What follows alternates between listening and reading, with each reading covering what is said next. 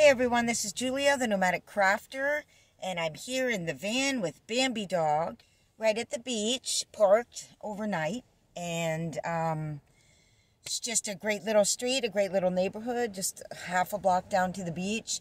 Bambi and I had a wonderful walk out on the sort of cliffs and found this little sandy beach. We could run around and I, yesterday I went swimming and totally got all my dreads wet in the ocean, which is really great for it.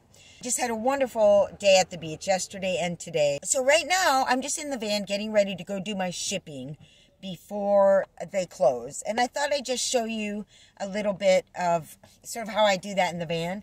And then I have a couple of more things that I made that I want to show you during this video. So um, I'm sitting here wrapping up uh, a dress that I sold, which is a, a recycled t-shirt dress. It's a Mortal Kombat dress. so, and it's got this cool velvety green bottom. But anyway, a gal bought this and I am wrapping it up and sending it to her.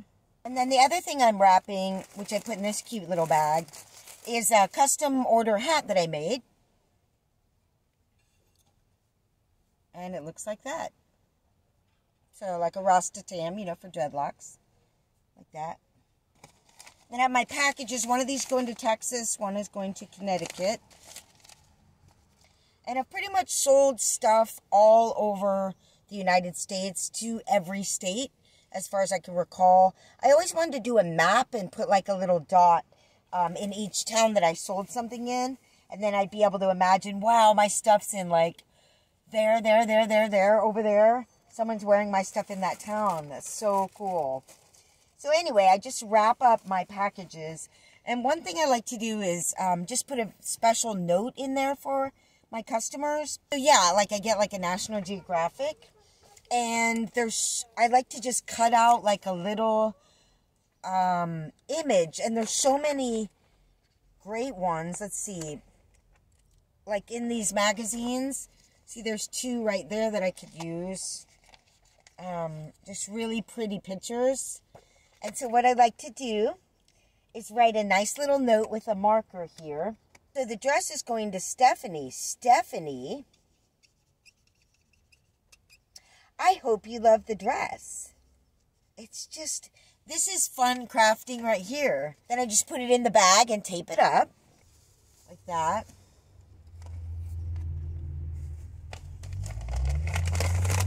And I got my little, um, it's hard for me to do and talk. Anyway, I have my little packages here. And this is my shipping bag. And I just have everything I need in this bag. It just gets stashed in the corner over there.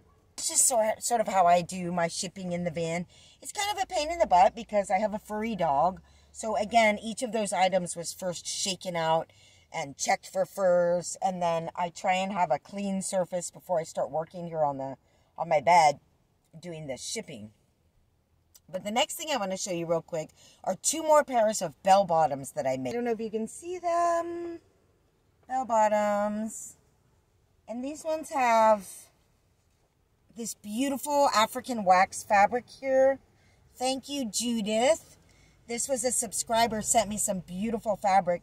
And I decided to put, you can see all the way around there, uh, this on each side of these bells matching. And I like that effect with this. And I like the blue with the denim. But these are my bell bottoms where I just create the bell from sections of jeans, the bottom of other pairs of jeans, and just make this nice bell. So here's the other pair. I hope you can see them.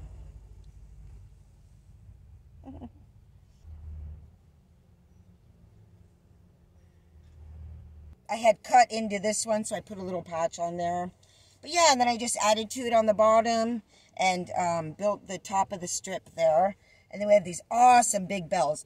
The only thing is on these jeans, um, they were so straight-legged or small-legged to begin with that I had to do this massive bell just to get a bell-bottom effect at all. Usually I would use a pair of jeans that's a little bit wider at the bottom already.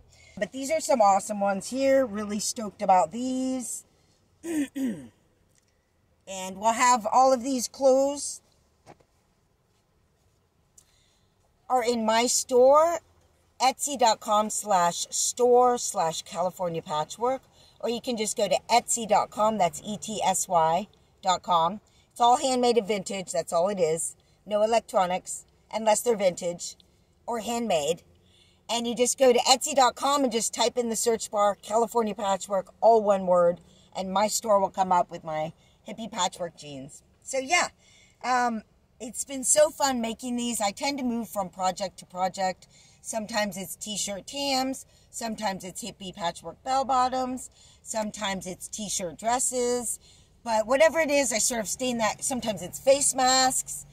Whatever it is, I sort of sort of stay in that zone for a bit, and then I move on to the next type of thing. I don't like to list one or two pairs of jeans where it's not offering a variety of sizes and styles for people to choose from.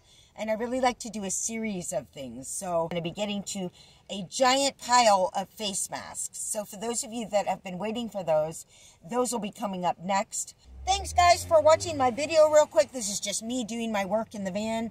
Day starts out with Bambi and I running around, jumping in the ocean, and then I drop her off and I go empty the piddle pills and I take a shower in the bathing suit but getting all the sand off.